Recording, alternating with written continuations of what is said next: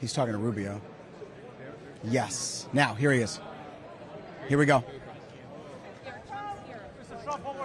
Mr. Trump, Mr. Trump! Come a little closer, sir. Mr. Trump, did Mr. Trump, will you debate again? Are you, up for a rematch against Kamala Harris? Did she get into your head tonight, sir? Are you up for a rematch? Are you up for a rematch against Kamala Harris? Our campaign says they want to debate you again. What's the best way to do this? Go this way? Come on, right up here this way. This way. How about we do it this way? You ready?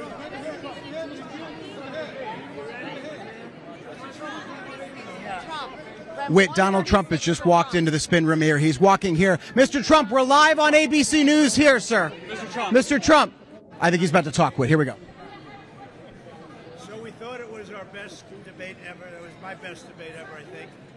And we had a, it was very interesting. It showed how weak they are, how pathetic they are, and what they're doing to destroy our country and the border with foreign trade, with everything.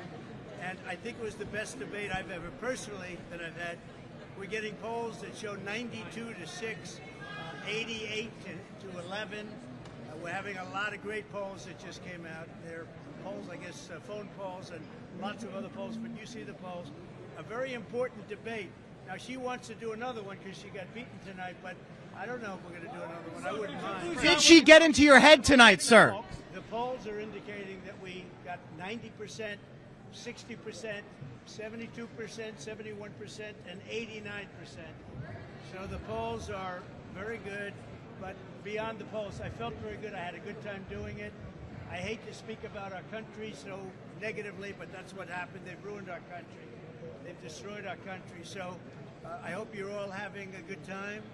But it was a very interesting uh, evening. Yeah, go So, ahead. if you're so confident you won tonight, why are you here? Why not let the performance speak for itself? Well, I think it did, but people said when I come here, and I made an obligation to a couple of people that I'm going to do their show. But it was a, uh, I thought it was a great night. Mr. President, Mr. President, Mr. President, Mr. President, you talked to. I have no idea.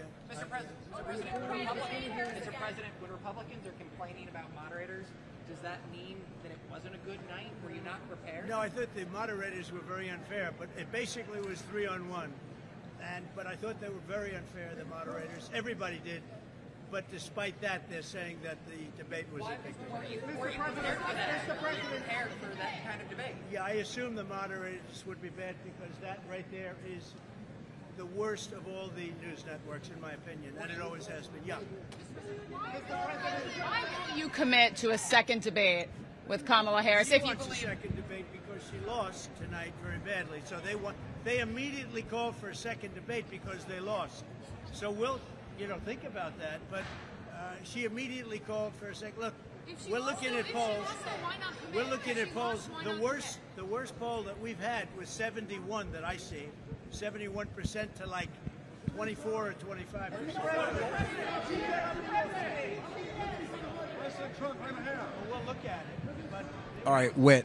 So if you still have me, he's walked a little bit away from our camera. Now he's at the edge there. You won't be able to hear him well. But one of the things you did hear was a question just asked by our Katherine Faulders asking, why not commit to another debate if you believe that you won? He said he believes he won this debate, but then he was also asked, why be here in the spin room spinning about this debate if it's a debate that you believe was a clean win? We're going to try to get you as close as we can to Donald Trump, but I don't think you're going to be able to hear. Let me try to get my mic in there and see if you can hear Whit if you're still going through my camera here.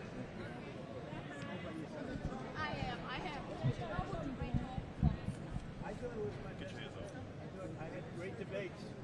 I thought this was my best debate.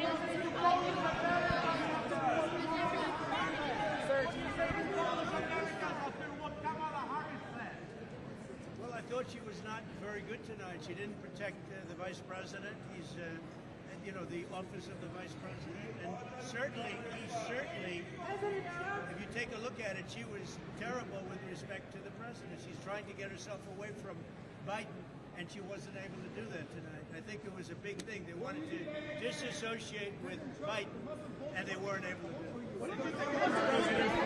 Mr. President, Mr. President.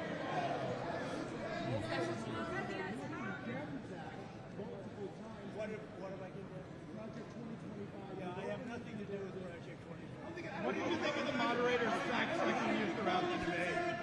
I think the moderators were very unfair. Uh, I, I actually thought they were just having All right. So, if I could just tell you what we're seeing, because it's probably still hard to hear him. Donald Trump has entered